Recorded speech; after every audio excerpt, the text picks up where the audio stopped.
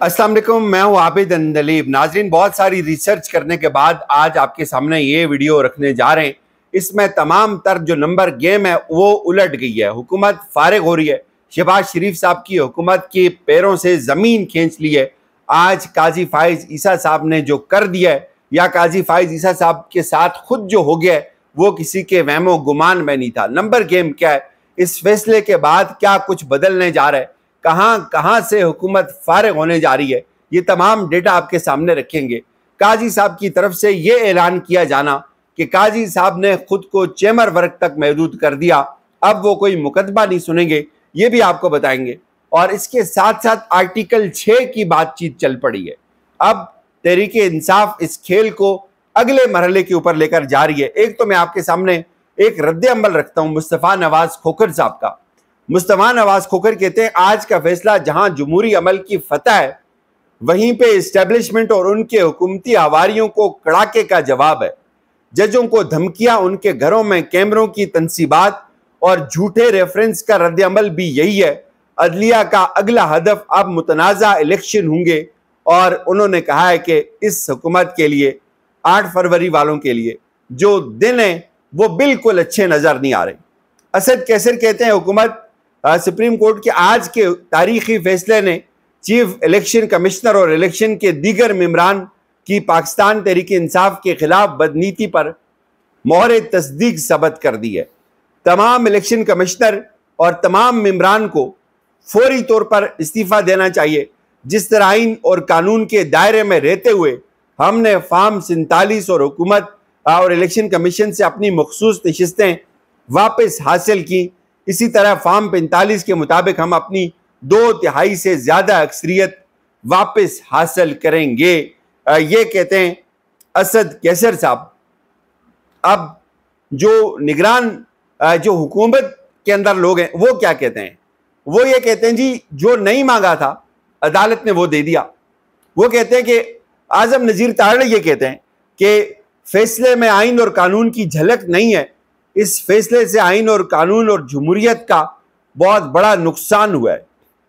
और अब हैरान कन तौर पर जो वजी अजम के मशीर बरए सियासी अमूर हैं, राना सनाउल्ला साहब, वो ये कहते हैं कि बात तो ये है कि इंसाफ हो, इंसाफ होता हुआ नज़र भी आए, वो इंसाफ जो बिन मांगे दिया जाए, ऐसे फैसलों के नतज बहुत अफसोसनाक होते हैं।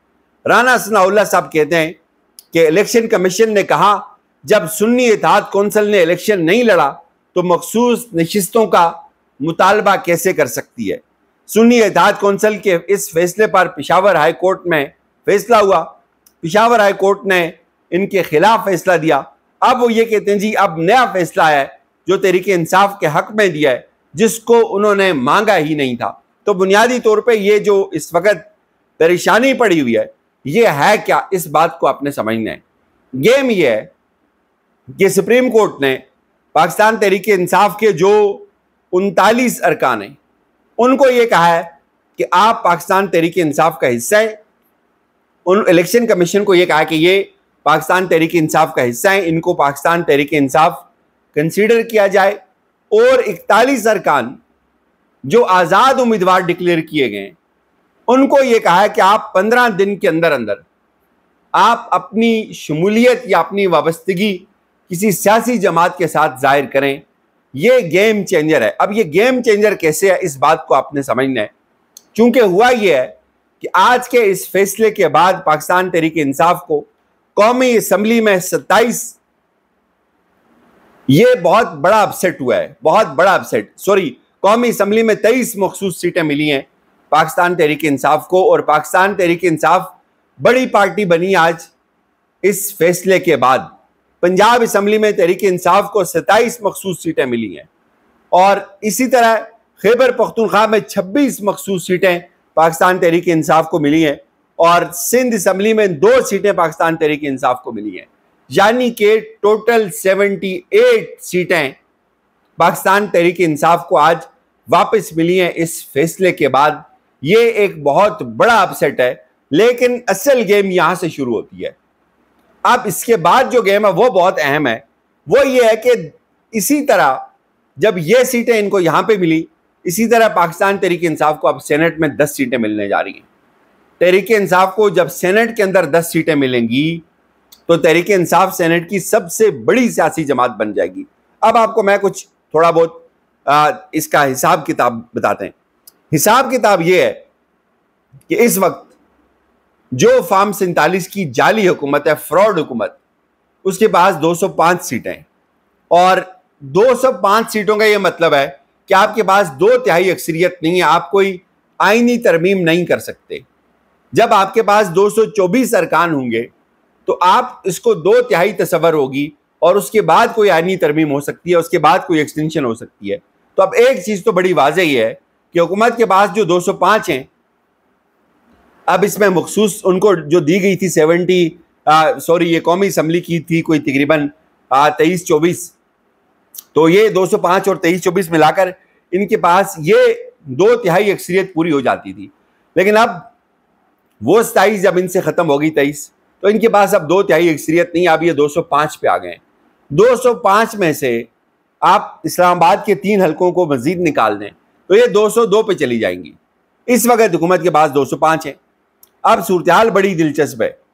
अगर कौमी असम्बली में आप कुछ अगर ये समझते हैं कि इनको मज़ीद कुछ लोगों को जोड़ तोड़ के यहाँ पे ये पूरा कर लेंगे, लेकिन असल गेम जो है वो जाकर फंसती है, वो फंसेगी जाकर सेनेट के अंदर। सेनेट में हुकूमत के पास इस वक्त टोटल 54 लोग हैं। चौवन अरकान है टोटल। और अब जहाँ, अब पाकिस्तान तहरीक इंसाफ को यहाँ पे 10 लोग मजीद मिल जाएँगे। और सेनेट के अंदर जो तो दो तिहाई अक्सरियत है, वहाँ पे आपको चाहिए 67 लोग। अब हुकूमत के पास 67 लोग सेनेट के अंदर नहीं है।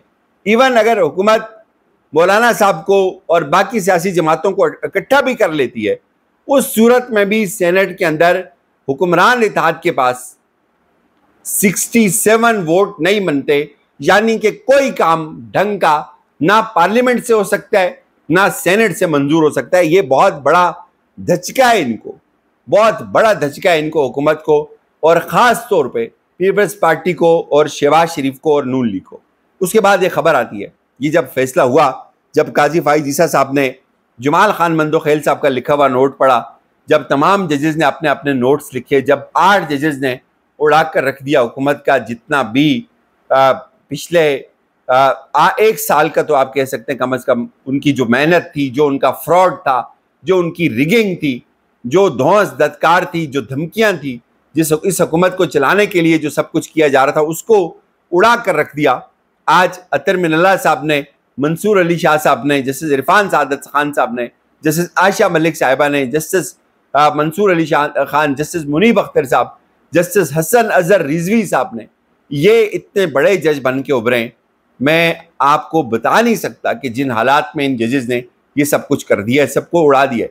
और काजी साहब के बारे में ये खबर आती है जी के काजी फाइज ईसा साहब जो हैं अब वो आ, कोई मुकदमा नहीं सुनेंगे जी आइंदा हफ़्ते। काजी साहब ने खुद को चेमर वर्ग तक महदूद कर दिया है और काजी साहब अब कोई मुकदमा सुनने के मूड में नहीं है। क्या पता आ, काजी साहब का जो है वो या दिल बहुत परेशान हो कि क्या ये हो क्या गया है? लेकिन बात यहाँ पे ख़त्म नहीं हो रही। अब बात जा रही है आर्टिकल छः के ऊपर। अब तहरीक इंसाफ के लोग ये मुतालबा कर रहे हैं कि आज सुप्रीम कोर्ट के तेरह जजेस, तेरह के तेरह जजेस में से कोई एक जज भी ऐसा नहीं है जिसने ये कहा हो कि इलेक्शन कमीशन ने बहुत ठीक फैसला किया। तमाम तेरह जजेस ये कह रहे हैं कि इलेक्शन कमीशन ने सुप्रीम कोर्ट के फैसले की गलत तशरी की। पाकिस्तान तहरीक इंसाफ एक सियासी जमात है। पाकिस्तान तहरीक इंसाफ सियासी जमात रहेगी। और बल्ला छीनना तहरीक इंसाफ को उसके सियासी जमात होने के जो मैार है उससे आ, उससे अलग नहीं कर सकता। अब तहरीक इंसाफ की मुतालबा करिए कि लगाएँ आर्टिकल छः इलेक्शन कमीशन के ऊपर।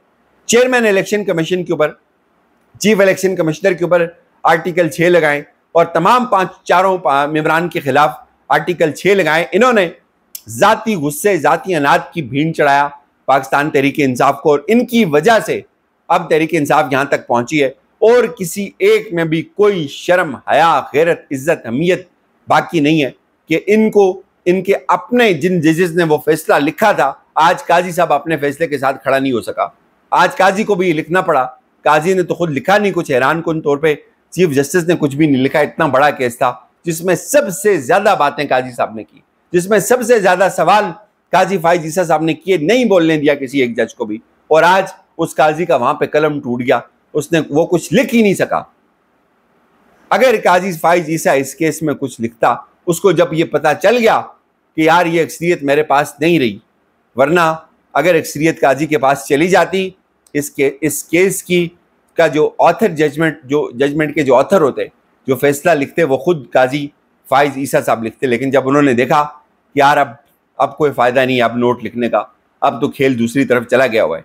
और उसके बाद उन्होंने इत्तेफाक किया, जस्टिस जमाल खान मंदोखेल साहब के उस नोट के साथ, और उन्होंने खुद कुछ भी नहीं लिखा। तो अब खेल बड़ा दिलचस्प है कि तमाम लोग ये कह रहे हैं कि इलेक्शन कमीशन ने गलत किया, और इलेक्शन कमीशन अब कोई और डिठाई करेगा, अब अपील में जाएगा। ये बहुत देखने वाला होगा, लेकिन कुछ भी नहीं मिलने वाला इनको। कुछ भी नहीं मिलने वाला। तेरह में से ग्यारह जजेस ने ये कहा है ये तरीके इंसाफ कहा कि ये इनको नहीं मिल सकता, किसी सूरत नहीं मिल सकता। लेकिन काजी साहब को ये दाद ज़रूर देनी चाहिए कि जमाल खान मंदोखेल जो है, वो काजी साहब की तरफ़ चले गए। काजी साहब ने उनको आराम कर दिया। इजाज़ दीजिए, अपना ख्याल रखिएगा। खुदा हाफिज़।